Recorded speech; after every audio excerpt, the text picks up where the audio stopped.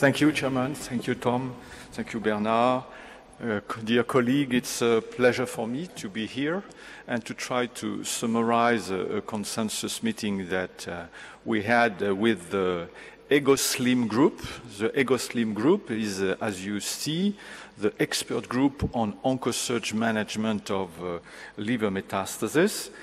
This uh, EgoSlim group is composed by oncologists, and you have uh, on the left uh, the list of oncologists, of liver surgeon from all around the world, a colorectal surgeon, radiologists, pathologists, and uh, molecular GI oncologist. This uh, group uh, had, uh, had previously a meeting two years ago it was on the general management of liver metastasis from colorectal cancer, and this was published in The Oncologist in 2012. But regarding the last conference meeting, it was focused on the management of synchronous colorectal liver metastasis, which is, as you know, a very, very important problem with many different uh, possibilities.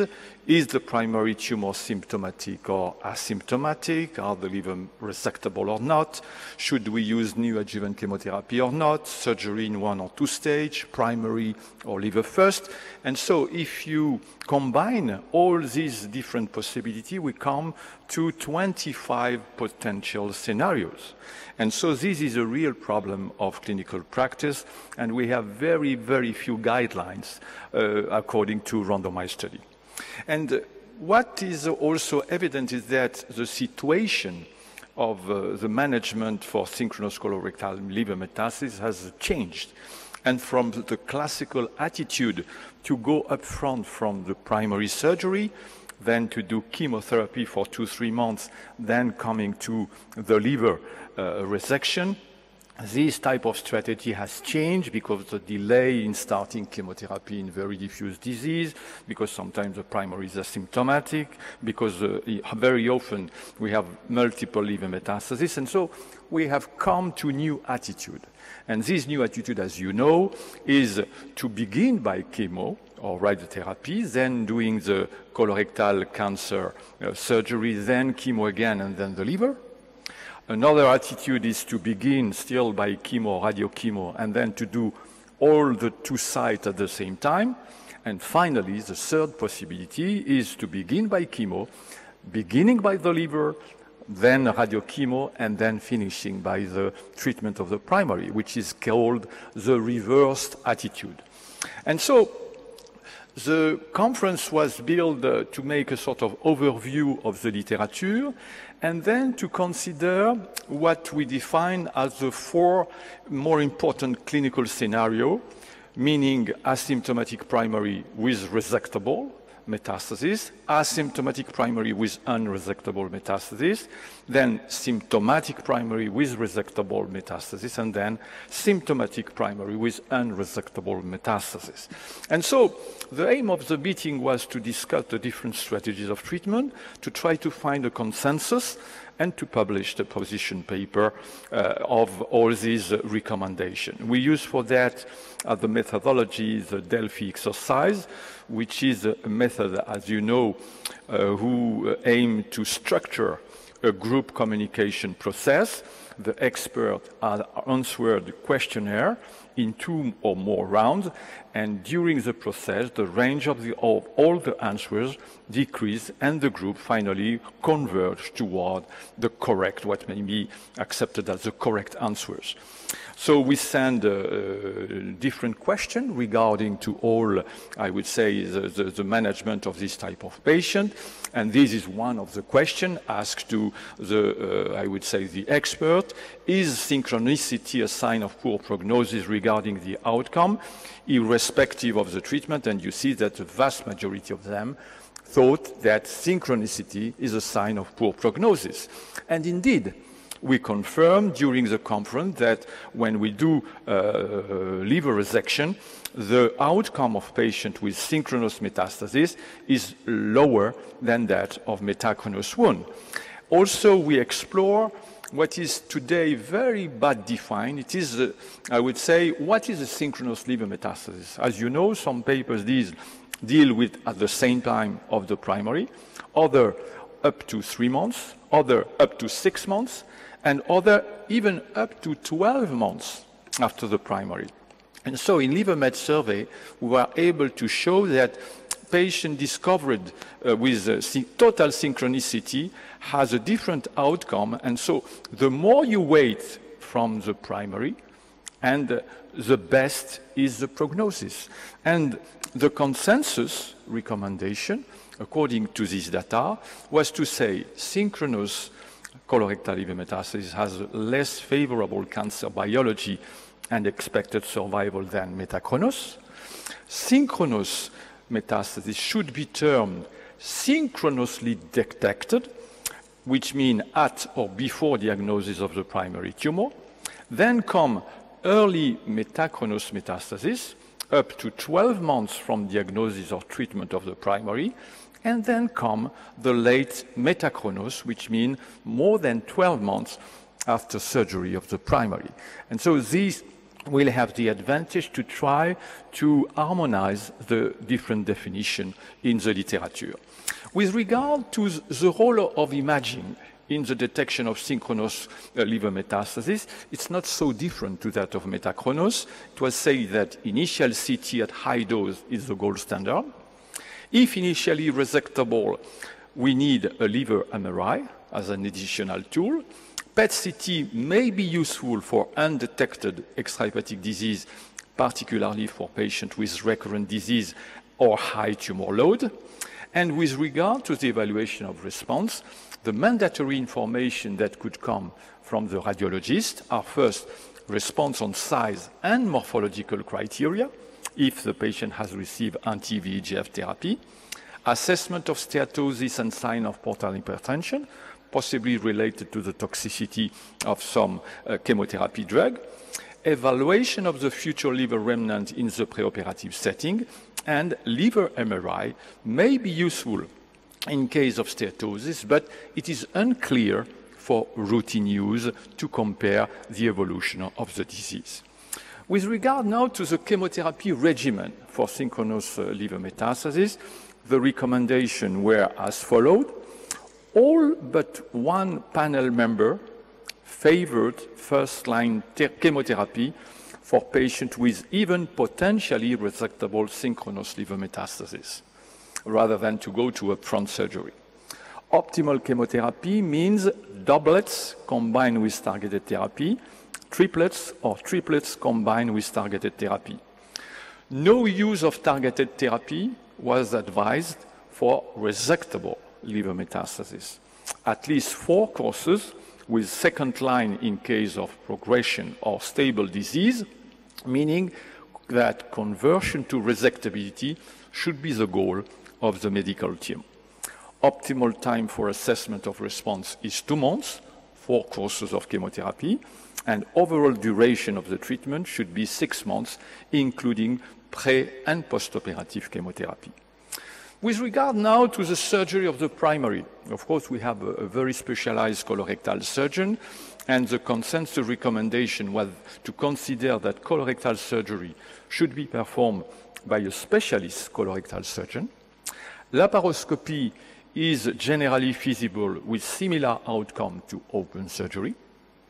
Synchronous rectal liver metastasis should be treated by preoperative radiotherapy recommended for mid and low tumors, but chemotherapy is the adequate treatment for the liver metastasis. When the sites are both resectable, we uh, advise simultaneous resection who can be performed in selected patients with limited hepatectomy, not major hepatectomy. When liver metastases are non-resectable, resection of the asymptomatic primary without resection of the liver metastasis may, in some cases, have benefits. This is still today very controversial, but the experts admit that a small benefit may exist even when the tumor is unresectable, is uh, resectable, sorry.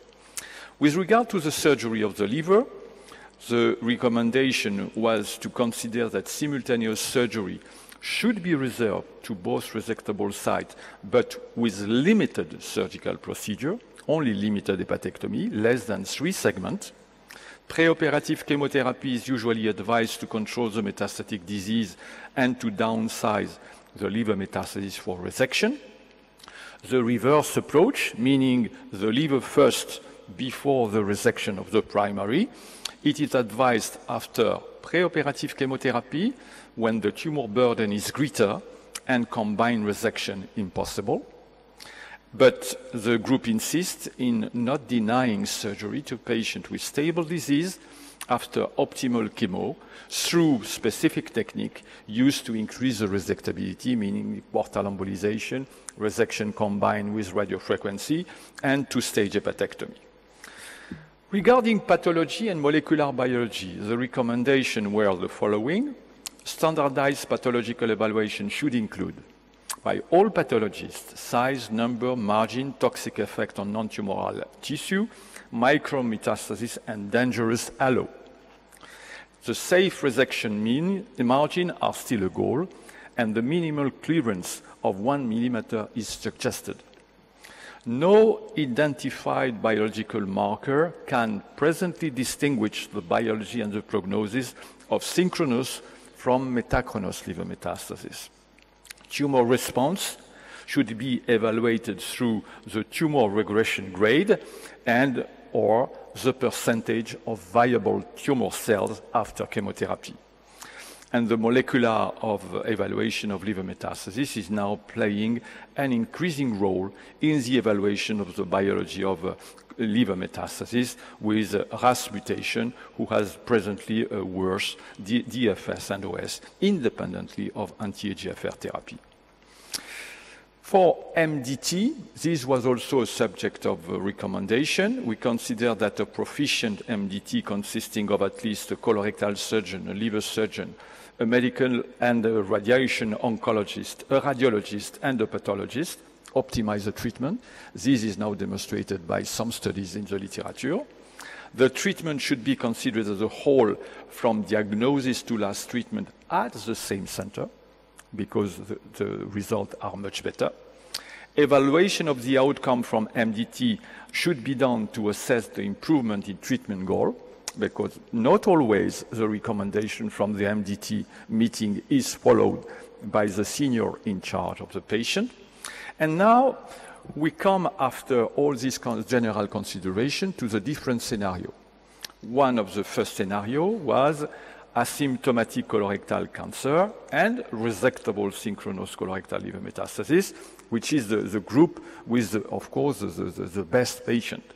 And the consensus recommendation was, by a maximal consensus, I will say, giving chemotherapy before surgery and not to go to surgery up front. For mid and low rectal cancer, radiotherapy is recommended with no one-stage surgery. For colonic and upper rectal cancer, no one-stage surgery for complex colonic tumor, high-risk patient, or major hepatectomy. And finally, one-stage surgery should only be considered to very, very selected patients, easy to resect primary tumor, and limited hepatic disease. And you have here in LiverMet survey in synchronous resectable cancer. In uh, blue, you have the liver plus colon at the same time and the survival after hepatectomy. You have in red the liver resected first, and in green, the colon resected first, with a significant difference between this attitude and this both attitude. For scenario two, mean asymptomatic colorectal cancer and non-resectable synchronous colorectal liver metastasis. Of course, the objective, as a consensus, is to make the liver metastasis resectable by chemotherapy. Chemotherapy, of course, should be administered first. No simultaneous surgery is advised, and if the metastasis become resectable, the consensus is in favor of a reverse approach, liver first. For rectal cancer, the best strategy advised is to begin by primary optimal chemotherapy, then radiotherapy, and in the window between irradiation and rectal surgery to try to perform liver surgery.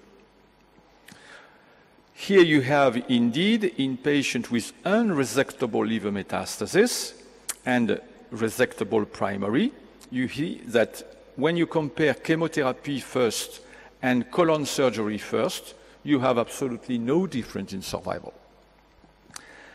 By contrast, when you compared liver first here in uh, red, colon first here in green, and liver and colon in blue, you have a significant difference in favor of liver first.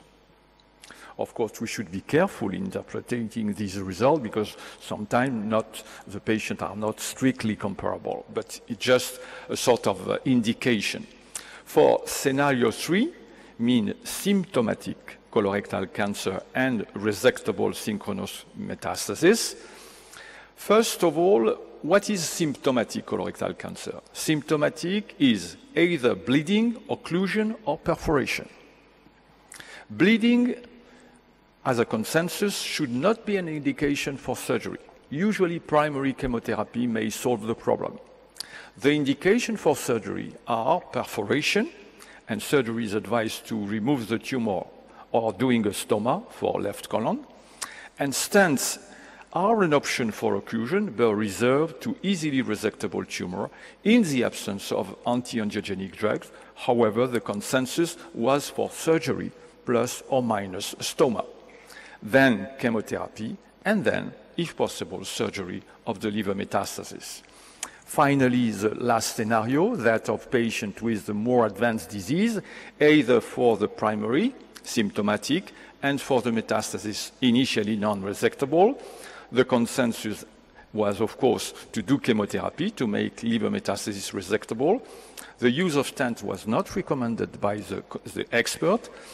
Not doing simultaneous surgery, but if the metastasis become resectable, the consensus was also for reverse approach.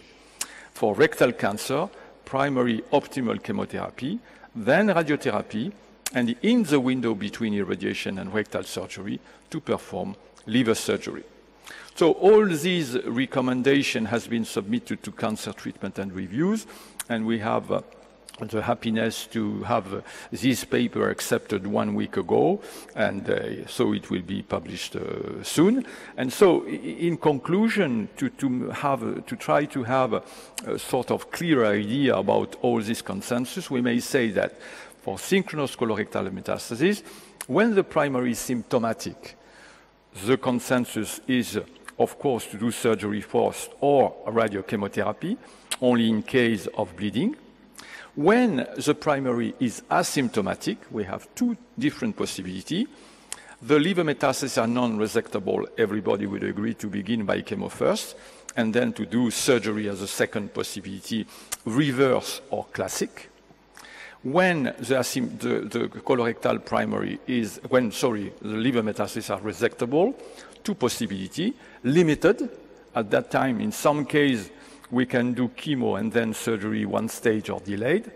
But when it is extensive, chemo first is advised, followed by two-stage surgery, classic or reverse. I will just finish by also one important recommendation, which is also, I would say, for metachronous as well as synchronous metastasis.